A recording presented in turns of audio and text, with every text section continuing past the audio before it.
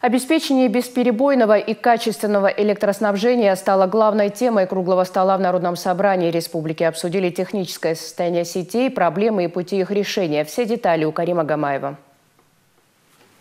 Об этом много говорят. Все знают, что проблема существует.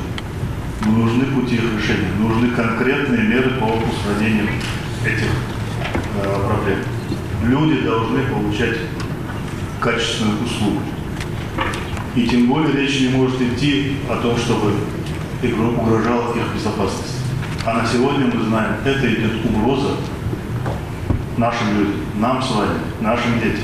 Оборудование не соответствует технологическим требованиям. В четыре раза вырос показатель аварийных отключений. Почти полностью исчерпавшие свои рабочие возможности линии электропередач. Износ составляет 80%. Сеть дает сбой при любом капризе погоды. Озвучиваемые с трибуны доклады пугающие, но уже никого не удивляющие. Проблема есть давно, а пути их решения упираются в объемы финансирования доказываем федеральному центру, что сейчас нужно помочь срочно, нужно Дагестану помочь, выделить денежные средства, чтобы тот за годы сформировавшийся значит, э, э, объем проблем, чтобы его э, ну, единоразово за пару-тройку лет решить, а дальше, конечно, надо все равно формировать источники за счет тарифов. Еще одна проблема, точнее, как выяснилось, ее отсутствие – это платежеспособность населения, с недавних пор обсуждаемая уже на федеральном уровне.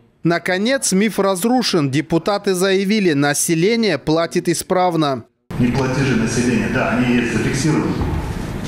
Но фактически-то сами подтвердили, население платит. Платит исправно. Да, есть такие, но не в таких объемах, как э, были названы цифры, 60% или еще какие-то завышающие. Мы же сами понимаем, что это не так, что ресурсоснабжающим организациям, наверное, надо, не наверное, а надо вести работу в этом направлении.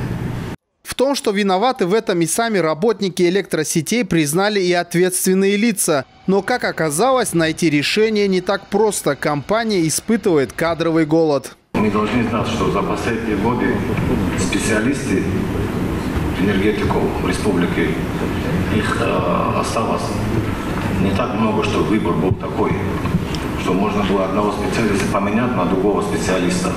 Поэтому нам приходится это э, исходить из этого, что мы должны беречь этого специалиста. Здесь работа точечная, здесь работа индивидуальная. Диалог выдался достаточно эмоциональным, но в то же время и продуктивным. С подачи председателя Народного собрания Заура Аскиндерова представители ПАО «Россети» все-таки приняли тот факт о том, что население республики платит, а растущий долг вовсе не из-за потребителя. Как заявляют специалисты, о проблемах в энергоснабжении они знают. Также есть и пути их решения. Нужно только время. Карим Гамаев, Саид Кутиев. Время новостей.